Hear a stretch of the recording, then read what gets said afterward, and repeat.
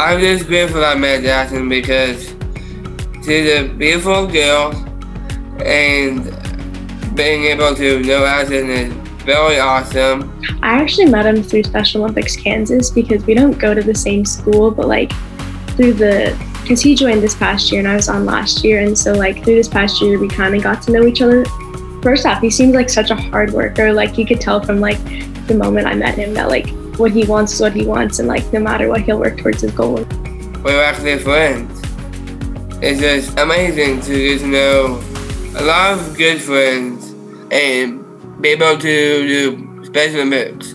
Unified bowling in high school is just amazing feeling. Uh, the state of Kansas uh, and the Activities Association is really excited that uh, we have been offering uh, high school bowling for our membership for the past uh, 17 years. And uh, next year, as we enter year 18, we couldn't be more thrilled that Unified Bowling is now going to be a part of the offerings that we have for uh, the membership of, of, Kansas. Adding unified bowling and, and including a lot of students that typically have not uh, been allowed or have not chosen uh, to participate is going to be huge.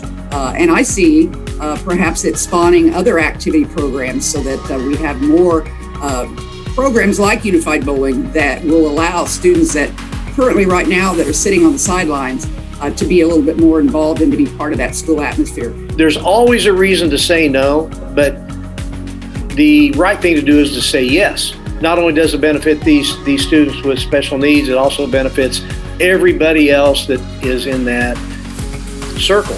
I think bowling is an amazing sport for Special Olympics. I think it's an awesome opportunity, especially for like since a lot of the sports that have been going on, like uh, basketball and soccer, a lot of like there's a certain Special Olympians who can't participate as much just because of their mobility functions. So like the fact that they're giving this opportunity for people who have more to like have more not as functionable stuff is so cool because like it gives them the opportunity to like participate. You know, going to school is is exciting. It's important, and you never get to, you only get to do it once.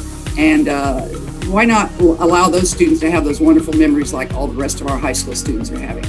I have a grandson with Down syndrome, and it's it's as much right for my grandson or any child who has Down syndrome to provide a bowling opportunity as it would be for a star football player to get to play quarterback on Friday night.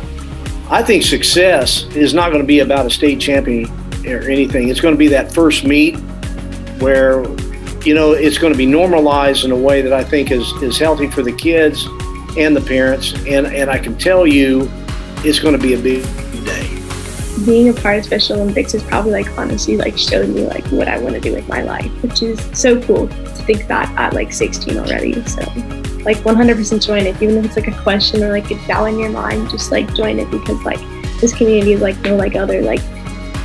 Join us at Special Olympics Unified Bowling. Join the Unified Generation at generationunified.org.